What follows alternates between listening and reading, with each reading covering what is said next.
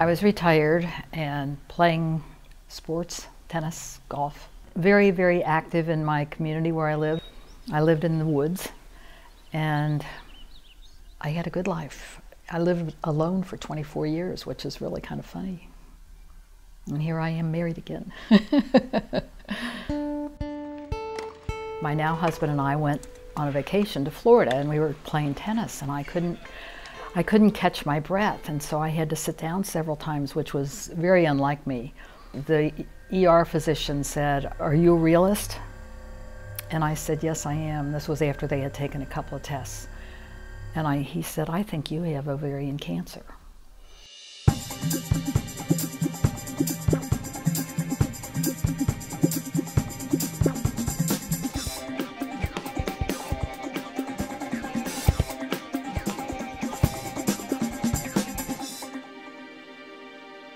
I told my husband I wasn't going to marry him until I was well.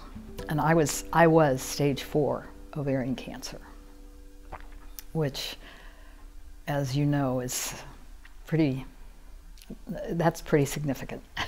I always was a walker, a runner prior to that. As I got older, I decided that walking was better. I had breast cancer after I had ovarian cancer. I carry the gene for both. My breast oncologist said that because I was so active is the reason I survived. And I have three daughters and they're all negative, which is really wonderful. And they all exercise. and I always had mammograms regularly and saw my physician often. But there is no test for ovarian cancer, which you probably know, at least not at this time. I know that I wanted to live when I was going through chemo, and I know that I that I did everything that the doctor said. You know, when I got home from the hospital, I started walking. I was religious about exercising and getting back to the activities that I enjoyed, and tried to eat right. And after you've been accustomed to running three and five miles uh, a couple times a week, and you can hardly make it around the block the first time when I came home from the hospital. That was really something. And I was determined. Plus, I have children and grandchildren, and I wanted to see them grow up and see what kind of people they turned out to be. And so I'm enjoying that voyage. I sometimes think if I still lived in the woods in Indiana, what would I have done? I fairly well lead my, my life as I would anyway.